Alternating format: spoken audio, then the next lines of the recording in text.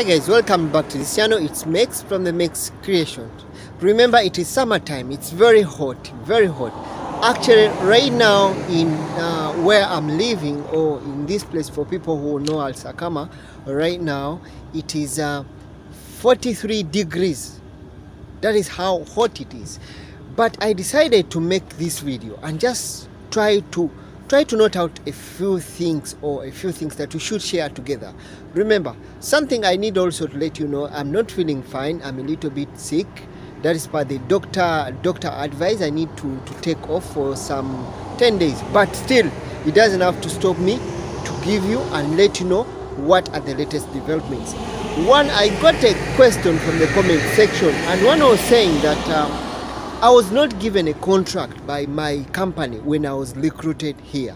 My company abandoned me, and right now I'm in what you call an overstay of seven months. Something that's uh, seven months. What can I do? Something that I need to let you know for guys that are on overstay, and you're so lucky that you are still living in the country or you are still here on what you call your overstay. It may be three months, it may be two months, it may be eight months. Remember, every one of us has his or own luck in one other.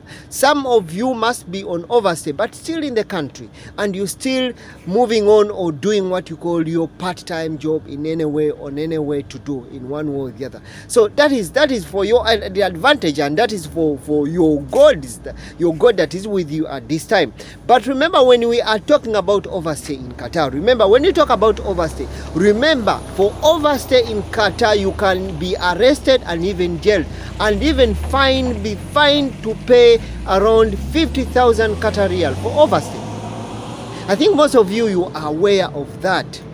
So know that if you once you got and it's a bad day for you, you can be arrested and fined over 50,000 Qatar riyal for that. Remember, for an overstay in Qatar per each day is paid an amount of 200 Qatar riyal. An overstay that is being calculated for you is paid at 200 Qatar every single day. So what are we talking about or what's something that I need to let you know or what do I definitely you need to know is that how can you reduce your overstay? The only way or the only position or the only resolution you have for you to reduce your overstay is by getting what you call a job. Don't look for a permanent job. Get a full-time job. Get some company, hire you, give you a contract, sign up a contract, get you a cat ID. That is the only way, that is the only solution you have to reduce the overstay in Qatar. I think I've tried to explain to you, my brother who put a comment in the comment section about the overstay.